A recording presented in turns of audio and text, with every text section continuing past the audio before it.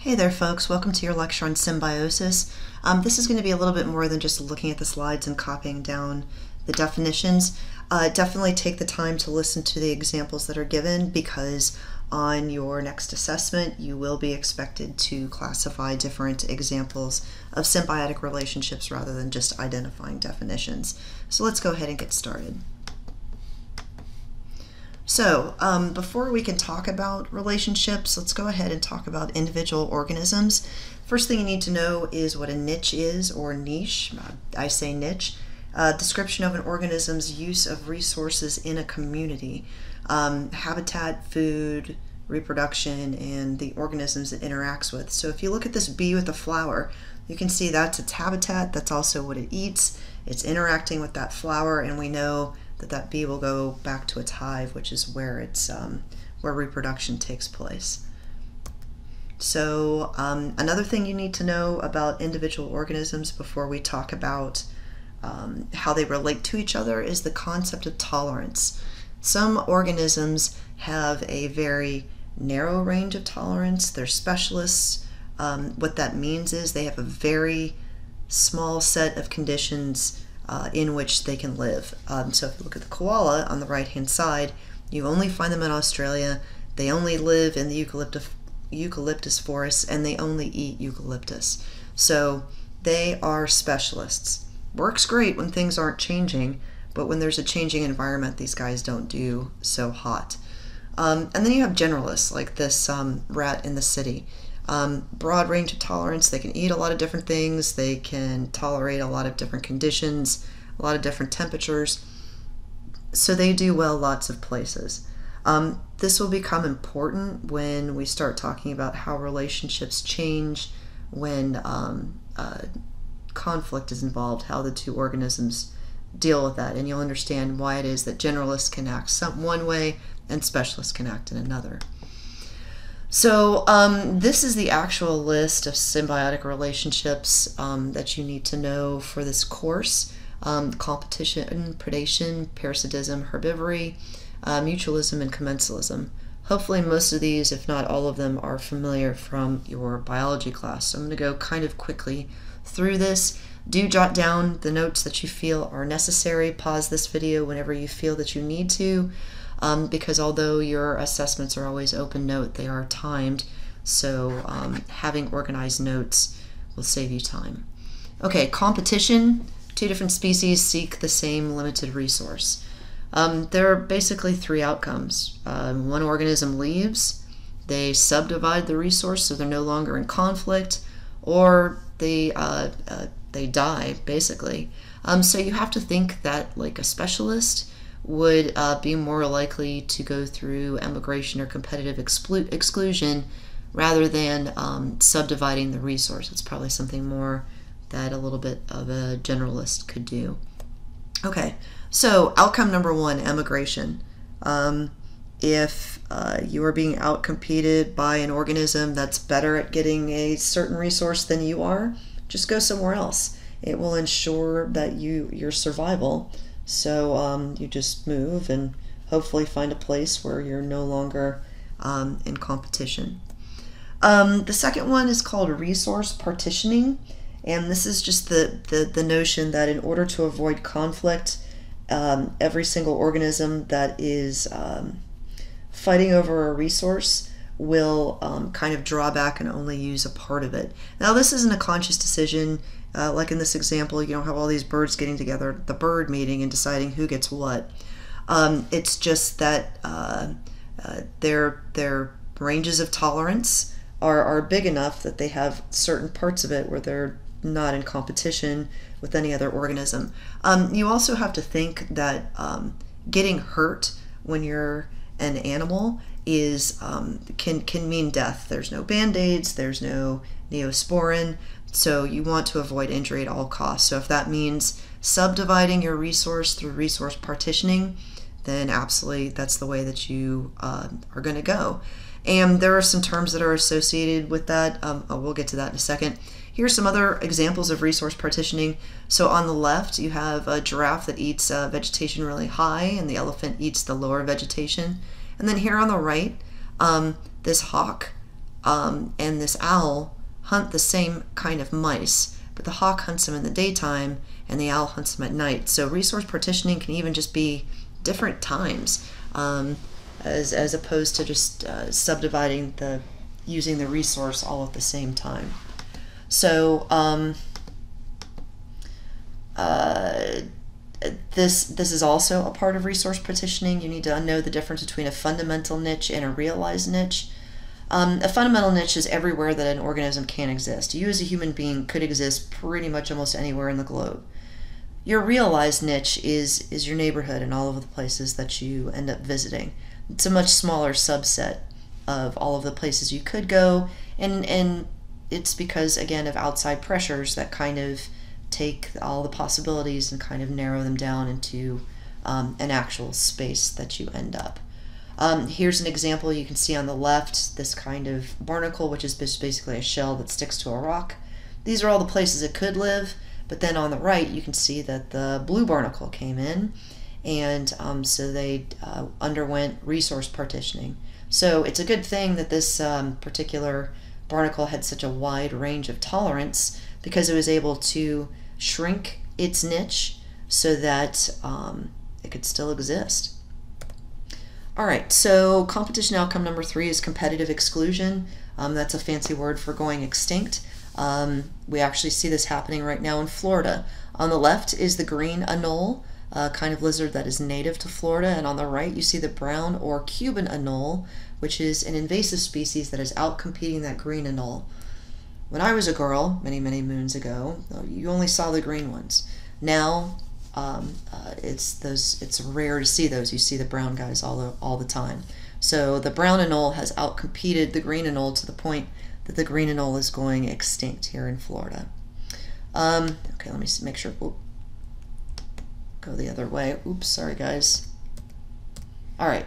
So um, next relationship is predation that involves one species of predator hunting and eating um, another prey. Um, while that's not good for the individual prey because they lose their life, um, this relationship is actually good for both populations because they help to control the numbers of each other. So if you take a look at this graph, you're going to notice that when, um, uh, okay, so a hare is a kind of rabbit and a lynx is a kind of big cat um, you're going to notice that when the bunny population goes up, the lynx population goes up. And then because there's a lot of predators, the bunny population then goes down, and the lynx population goes down as well. Why is this good? Because um, if prey didn't have predators, um, they would uh, reproduce to the point that everybody would just starve to death because they'd run out of resources. So uh, while the relationship's not great for the individual prey, it's good for the entire population of the prey. It's also good for the predator, it keeps them at a, a reasonable number so there aren't too many of them. Then, and then they end up killing everything. Okay, so um, an interesting thing happens with predation. Um, uh, something called coevolution takes place, um, which means that if you if you remember evolution, it is um, organisms that are most suited to their environment end up surviving and reproducing to make the next generation. Well, if you have a predator on your case all the time, um, and he's picking off the ones that are weak, or you can see um, uh, them very easily. It's it's the ones that that are harder to find, or maybe have a or are poisonous, or any number of things um, that then, uh, because the predators are good at what they do, the the prey then a random mutation means that they are able to um, uh, survive to the next generation. What you're looking at right here is an example.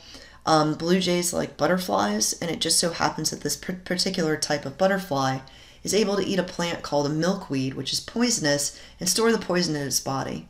So um, this blue jay caught this butterfly, it's called a monarch, and is eating it, and then after a couple of minutes, yaks the whole thing up. Um, it uh, and then it learns don't eat monarchs again because it will poison you. So um, this is uh, something that monarchs did not always have, but through natural selection ended up having. Now, remember again, this is not a conscious choice, it was just luck that the mutation popped up in the first place. If the monarch didn't have this mutation, it's entirely possible that the blue jay could have uh, forced it into extinction because it would have eaten them all up. Okay, parasitism is where one organism, a parasite, depends upon another organism, the host, for nourishment. It does not, or it should not, result in death, death of the host because if it does, then the parasite dies as well.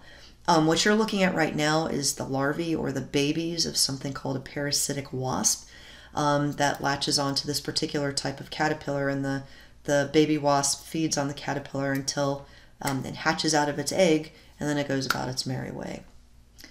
Um, herbivory is basically like predation for herbivores. Animals feed on a plant. Um, uh, it's not technically parasitism uh, because uh, you know the that's not a constant feeding, and it's technically not predation because um, the, the like here the tree is not eaten until it's dead. Um, so it's kind of its own category. Um, coevolution is actually part of the relationship that you're looking at right there. That is an acacia tree and a giraffe eating it. The acacia tree, as you can see, has developed some wicked, wicked spines as a result of the giraffe really liking um, the, these leaves. And now that happens over many, many, many, many years. Um, it just so happens that the ones with thorns are the ones that survive more and are able to reproduce. Well, in response, the giraffe, the ones who were the most successful with the acacia tree, were the ones with the longest and stickiest tongues. So most giraffes now have those long, sticky tongues that they can then strip the leaves off of in between the thorns. So who knows what the acacia tree um, will, uh, what evolution will will bring for it next. Um, mutualism is where both organisms benefit. Here you see a Nile crocodile and an Egyptian plover. It's a kind of bird. Um, and the Nile crocodile doesn't eat this thing um, and yet tolerates it in its mouth. So the plover comes in and eats little bits of food that are stuck in the teeth of the crocodile. Hold on one second. And the crocodile gets basically a free dental exam and gets bits of, bits of uh, rotting flesh taken out of its teeth so it doesn't end up with an infection. So mutualism is where they both benefit. Um, commensalism is an interesting uh, relationship. It's what I like to call the internet boyfriend relationship. It's where one organism benefits and um, the other one, yeah, actually, I need to fix this. Sorry about that. I'm going to fix that right now on the fly. Um, a relationship between organisms, between two species that benefits um, one species uh, while the other species is unaware of the relationship. So let me go ahead and get this so the text fits. And here we go. So you get to see me fixing that on the fly. Okay, so commensalism, a relationship between organisms, um, uh, between two species that benefits one species while the other species is unaware of the relationship. So here you have something called a remora. Um, it has a suction cup on its head and it adheres itself to the bottom of uh, different types of marine life, including sharks. When the shark eats, it's pretty messy, so the remora pops off and eats and then pops itself back on, and the shark is just really not aware of the relationship. Um, here on the right is a ghost orchid that is native to southwest Florida. It uses the tree that it's on for support and also so it can get up high because it feeds on nutrients and water in the air. And the tree is neither hurt nor harmed by that relationship. Okay, so go ahead and pause the video for a second and see if you can fill this out by using the key. Uh, you have two organisms. Put a plus with the one that benefits, a minus with the one that's harmed, and then a zero where there's no impact. It doesn't know one way or the other. So again, um, draw this um, uh, table of contents in your notebook um, and then attempt to fill it out. So go ahead and pause and do that because this is a great review for the test. Okay, so go ahead and check yourself. Uh, competition, no one benefits. Um, uh, not after the competition, but during the competition. Predation, the predator benefits. You may want to make a note that that's the predator. Parasitism, the parasite benefits. Herbivory, the, the animal eating benefits. Mutualism, both benefit. And then commensalism, one benefits and the other's like, I'm sorry, what? And that is the end of your um, lecture video. So um, go back and review this if you need to, but otherwise go ahead and uh, move on with the rest of the day's tasks.